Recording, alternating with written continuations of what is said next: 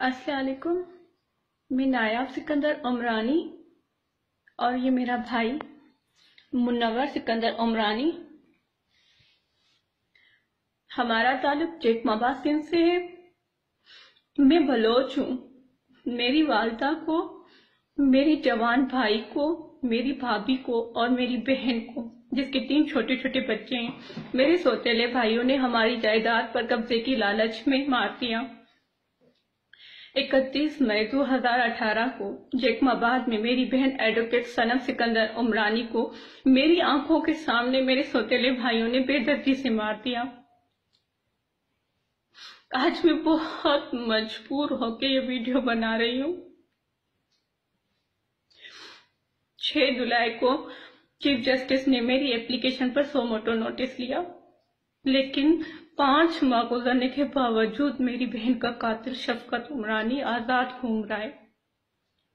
Sindh high court میں میرے سوتےلے بھائی کوشش کر رہے اینٹی ٹیررزم کی دفعات ختم کروا دی جائے تاکہ کیس کمزور ہو۔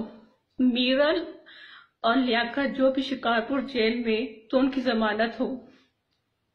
ہماری ساری زمینوں پر، ہماری ساری پراپرٹی پر میرے سوتےلے بھائی بشیر انور کا قبضہ ہے۔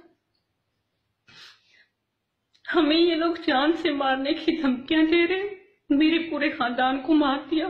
میری والدہ کو مار دیا۔ میرے جوان بھائی کو مار دیا۔ میری بھابھی کو مار دیا۔ میری بہن کو مار دیا۔ اور میرے منور بھائی، اس کی دماغی حالت ٹھیک نہیں ہے۔ اس کے بھی ذمہ دار یہ لوگ ہیں۔ میں وزیر اعظم عمران خان سے، چیف جسٹس ثاقب نثار سے، chief of governor Javed Bajwa صاحب سے وزیر اعلیٰ سندھ مراد علی شاہ سے، وزیر اعلیٰ بلوچستان میر جام کمال صاحب سے میں اپیل کرتی ہوں۔ سندھ پولیس کو، بلوچستان کی پولیس کو سخت آرڈر دیا جائے۔ میری بہن کے قاتل شفقت عمرانی کو جلد از جلد گرفتار کیا جائے اور ہمارا حق ان ظالموں سے ہمیں لے کے دیا جائے۔